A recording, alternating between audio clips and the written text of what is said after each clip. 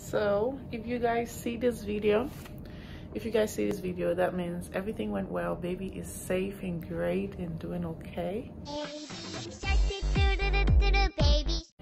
Um, today was my cvs test.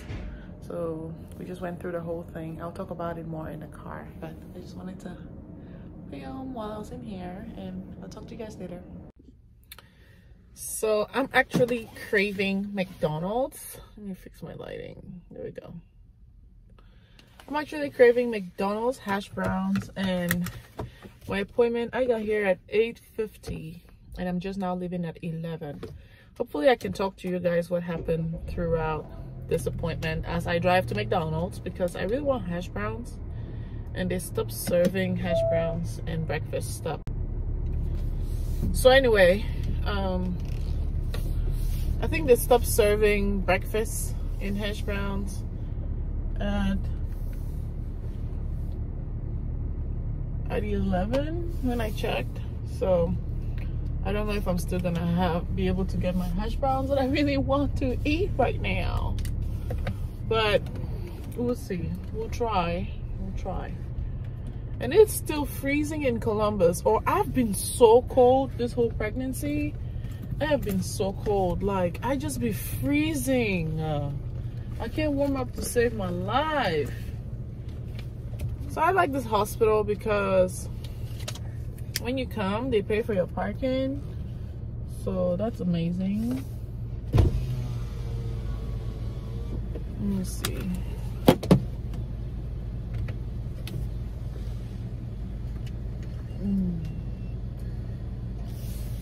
So they pay for your parking, so that's amazing. Oh my god. so I don't know if I should talk while driving, but my CVS took an unexpected turn. Um, the doctor came in. So this CVS procedure, I don't think I talked about this the first time I, you know, made a video about it. You know, now that my memory is fresh and raw, I decided to talk about it. Um, you know, right after the procedure, just so that I can tell you know whoever is gonna get it done what to expect. So what to expect for a cvs procedure? This procedure you're gonna need a full bladder. Um, uh, to be honest with you i don't know if for the procedure what hurts more if it's the full bladder or the speculum which is a huge thingy that they shove in there and pry open your cervix so that they can have access to the placenta.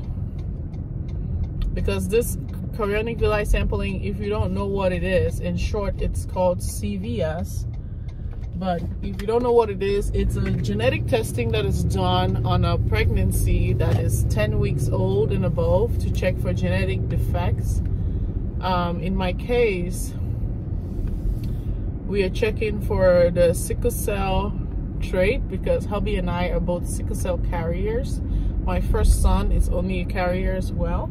So we're just checking out for the 25% chance of getting a sickle cell you know 2ss carrier baby. And then you know we'll go from there with the decisions that we have to make if that happens if that happens but god forbid it does but anywho so my test today i just want to describe how the test went today was unusual the test was actually unusual um, compared to the first time that I got it done. Um, the doctor went in there, put the speculum in. You know, while he's putting the speculum in, and a nurse is on my stomach with the ultrasound thing, and she is moving the ultrasound, like the little thing on the stomach. She's moving it around so the doctor can see what he's doing. It's like a camera.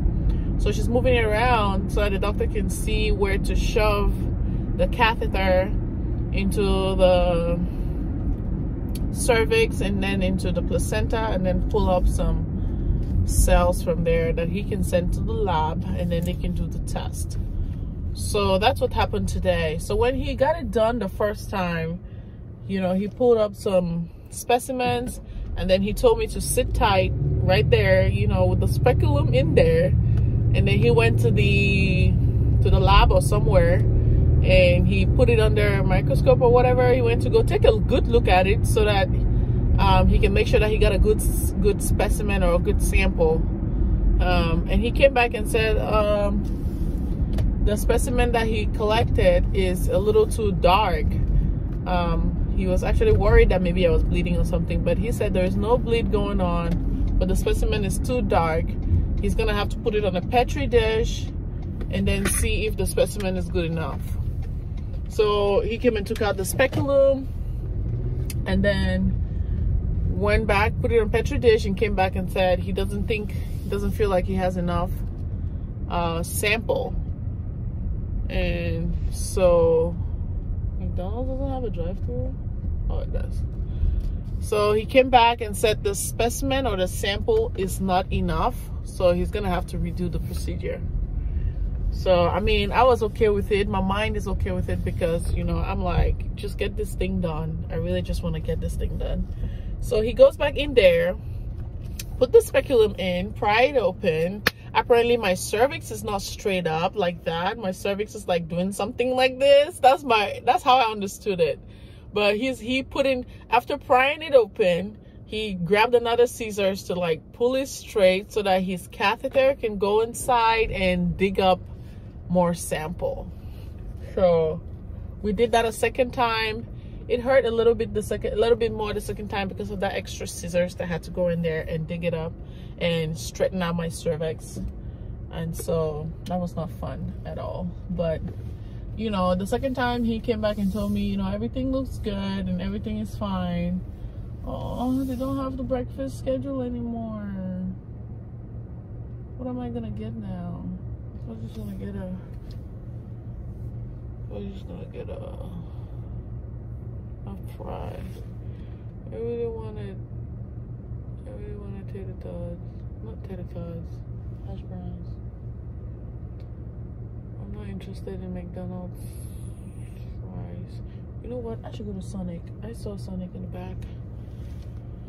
Oh, you guys, the way I've been eating since I got pregnant it's been terrible. I've just been the worst feeding person. All I want to eat is junk food. And that's not good for me or the baby, but here we are. I'm gonna go to Sonic because I'm not trying to have McDonald's freaking chicken sandwich. But anyway, let me just finish what I was saying. So he had to go back in there a second time and do a second sample. And then he came back and told me everything was fine. Everything looks good. He said I might bleed a little bit more just because we had to go in twice. He also said um, there is no risk, like there's no higher risk of a miscarriage um, doing it twice at the same time. You know, the risk of this procedure is one in 500 will have a miscarriage. So fingers crossed i'm not gonna be that one god is on my head so i'm not worried about that at all because it went fine the first time the first pregnancy so i believe and trust in god that it's gonna go fine the second time um the baby is fine the baby is a whole person you know has a head and legs and and, and hands and a belly and a heart rate of 165 so the test is going to take two weeks to come back. The results is going to take two weeks to come back. And, you know, that's when I'll be able to announce that I'm pregnant. So, I mean, being that this is my second pregnancy, I'm already showing and I'm only 11 weeks. I was planning on announcing when I was like 20 weeks, but I don't think I'm gonna um, be able to go that far because I'm already showing. Like my stomach is already like bulging at the navel. So anyway, um, that's my CVS procedure. I just left the hospital and I'm craving junk food. So it's 11:10 and I have a job interview. Um, my edges busted. I need to do something about this edges because it's a video call, I think. But I have a job interview at 2:30 today, so I'm hoping that will go well. Today's a big day for me. Like, imagine that I get. Oh, let's fix this. Imagine that I get this job, and that means I'll be able to leave retail pharmacy forever. Not forever. I don't think I'll ever leave retail pharmacy. But I am I think I've done, I've served my time with retail pharmacy and I'm ready to move on to something else, you know, in the profession. So I'm really excited. I'm stoked about this uh, interview. I'm so happy that I even got a chance to be interviewed. Like, this is crazy. It's for a clinical pharmacist position. And the fact that I'm being interviewed, I, for me, this is a win. Even if I get the job or not, that means something on my resume is standing out and they want to talk to me and see if I'll be a good fit. I hope I'm a good fit. I want to be a good fit so bad. So we'll see how that goes. If I, if this video, like I decided to talk about this at the end of my CVS. If you hear this part about the pharmacy job, that means I got the job. If you don't hear this part, that means I did not get the job. So, um, pray for me. I mean, you'll be watching this video when I already got the job, so just pray for me in general for other things that I achieve that I should achieve in life. I'm just so I'm gonna go to Sonic. I saw Sonic uh over there. I like the tear shots, so I'm gonna go get that. I've not had Sonic in so long. I'm probably gonna get milkshake too. Yeah, I'm gonna head home. I wish I could have the opportunity to do my nails, but I don't want to push it because I want to go home and prepare for my. So I'll talk to you guys later. Bye bye.